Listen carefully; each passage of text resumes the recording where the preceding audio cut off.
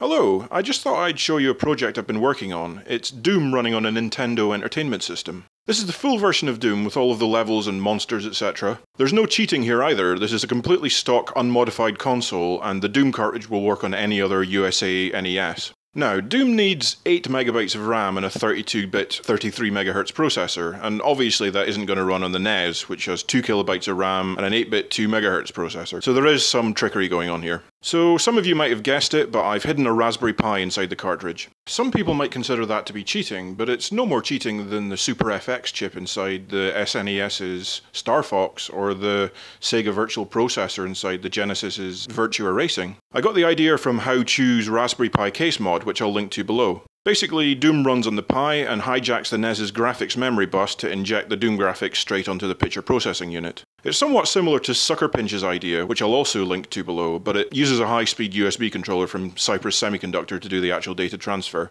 This makes it a little bit more stable and gives it better graphics quality. You could in theory use this technique to port any game that will run on a Raspberry Pi to the NES, so perhaps I'll do Quake 3 next. Anyway, I still have to improve the graphics quality and work out a few bugs before I can release this project, but stay tuned for a guide on how to build your very own Doom cartridge.